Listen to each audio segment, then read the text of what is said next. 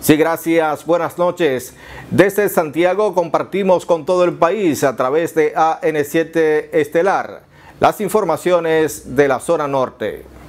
Al menos tres homicidios ocurrieron en distintos puntos de Santiago durante las fiestas navideñas. Luis Gustavo Luna, de 23 años, fue ultimado a tiros en el instante Bermúdez. Fue atacado cuando se encontraba compartiendo con amigos en un centro de diversión. Y que estaba sentado y le cayeron a tiros. No sé, fue que pasó palabra con el tipo, no sé cómo fue.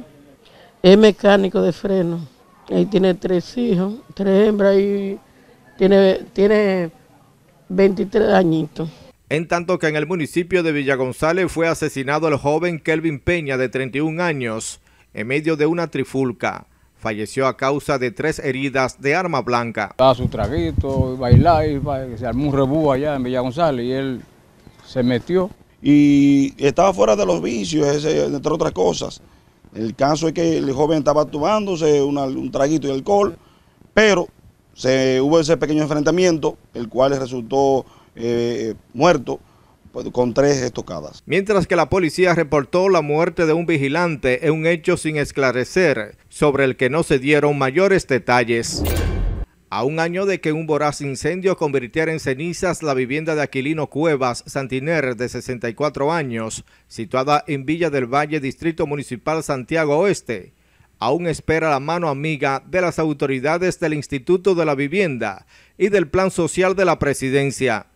He quedado en el medio del mundo con toda esta precaria encima, pasando hambre, pasando trabajo con mi familia, pasando mal, sol, agua, y malo sueño, miseria, como se hacen los hombres serios como he sido yo.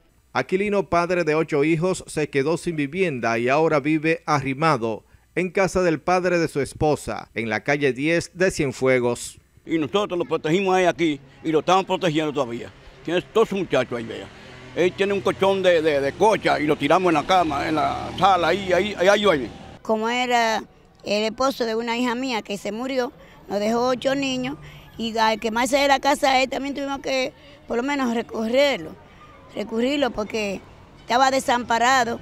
Eh, su esposa salió de compra de colmado, como a las 11 y 40 de la mañana. Entonces, todo se le quemó. Apeló a la sensibilidad de las autoridades del gobierno. El director de la Defensa Civil en Santiago, Francisco Arias, saludó el comportamiento exhibido por la población durante la celebración de los días 24 y 25 de diciembre. El pueblo acató el llamado nuestro y es muy significativo los accidentes que le dimos asistencia. Así está el Cibao. Ahora paso con ustedes al estudio. Buenas noches.